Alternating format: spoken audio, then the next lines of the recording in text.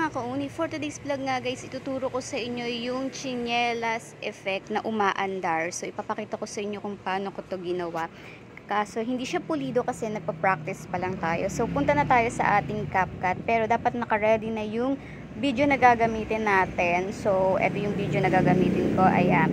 So after nyan, uh, ikat na natin yung part na hindi kailangan guys. So ayan hahanapin ko lang dito yung mga part na hindi natin kailangan kasi medyo mahaba yung uh, video na ginawa ko. Pero kailangan lang natin guys is maikli. So hanapin lang natin yung part na ready na tayo dyan to tatalon.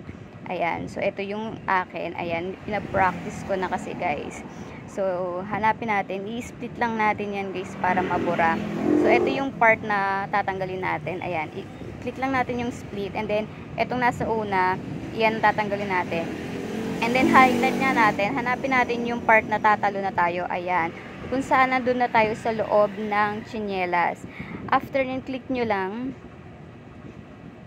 Ayan. Hanapin nyo yung freeze. So, hanapin natin yung freeze pag nandiyan na tayo sa part na yan. Para ma-freeze siya ng 3 seconds. Ayan. Hindi na yan gagalaw, guys. After nyan, pag nandiyan na tayo, i-click nyo rin para ma-highlight. And then, i-overlay natin yan para bumaba. Ayan. So, ayan na. After nyan, hanapin na natin yung empty background na ginawa natin. So, yung part na tinanggal na natin yung chinelas, kailangan natin ng empty background. Ayan. So, tanggalin lang natin yung part na hindi natin kailangan. Split lang natin and then i-delete lang natin. Or pwede nyo yan i-drag paatras. Depende sa inyo. So, hanapin na natin yung part na walang chinelas. Ayan.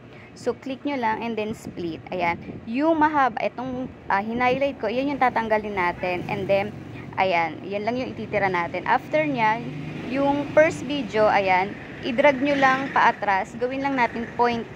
Kasi, maliit ang kailangan talaga natin. And then, ganun din sa second video. I-drag lang natin ng 0.8. Itapat lang natin siya dun sa first video. After nyan, click nyo yung second video, guys. Ayan, pag kinlik mo yung second video, tatanggalan na natin yan ng background. So, ayan, hanapin nyo yung remove background. Pero guys, dito, kailangan, hindi na tayo mag-auto-remove. Kailangan ang gagawin natin, customize remove. Kasi pag auto-remove, matitira lang yung chinelas, hindi ka makakasama. So, ayan, na customize yung gagawin natin. I-shade natin yung kukunin lang nating part, yung buo tayo, yung nandun kasama tayo. So, yan, kulay red yan, yan yung maiiwan. Siyempre kasama ka, no, huwag mo kalimutang ikaw kasi kailangan nandun ka sa loob ng chinelas. Ayan, i-shade nyo lang yan ng red. Paglampas, pwede nyo yan i-erase, may erase naman dyan. So, i-click mo lang din yon para yung mga lagpas, yon mabubura. Ayan, kapag ready na lahat na highlight mo na ng red, tsaka pa lang tayo mag uh, check dito sa gilid. Ayan, na ready na. Ayan, burahin natin yung part na lagpas-lagpas. Ayan. Kasi may erase yan. Ayan, yung mga part na lumagpas yung red. After nyan, guys, click nyo na yung check para ma-remove na. Ayan. So, make sure lang talaga yan. Tapos, yung arrow dito, click nyo lang. Ayan. So, after nyan guys, habang nandyan tayo, yung, mag, yung sa unahan na yan, yung part na nasa unahan na yan, lalagyan natin yan ng keyframe. Yung uh, nasa gilid, yung parang diamond, ilalagay natin pati dun sa gilid. Magkabilang gilid yan. Lalagyan natin ng keyframe. Ayan. After nito, yung uh, chinelas mo, idrag mo siya paatras or pa paalis. Ayan, ganyan katulad na sa video. Dahan-dahan mo siyang idrag paatras para kunwari lumalakad talaga siya. Ganyan. So, ganyan lang po yan.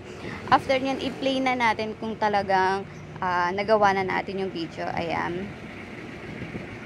Play na natin.